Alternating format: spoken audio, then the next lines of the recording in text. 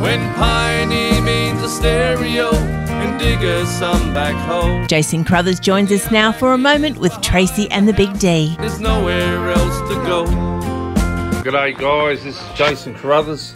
Regarding my uh, new single, Don't Sell Australia Out, is actually just letting people know who we are as our history, the people that made us the way we are, and hopefully we won't lose that, what we've got you know, such as the young ones today don't even know who R.M. Williams is. They think he's just a clothing yuppie brand, you know, and Pioneer means a stereo and, and Digger some backhoe, you know. We've lost that Aussie touch, that Ocker way that we once had. So I think we need to keep an eye on who we are and what who made us what we are. Uh, embrace it, you know, because we're an original country and a song like this or a poem like this, it's important to get music out there like this to let the young ones, especially young ones, know about, you know, let's keep what makes us Australian. And, you know, we're not American, we're not European or Asian, we're, we're Aussies.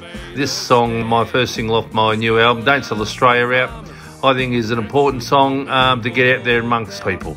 Thank you. Then join the swelling ranks who say, Don't sell Australia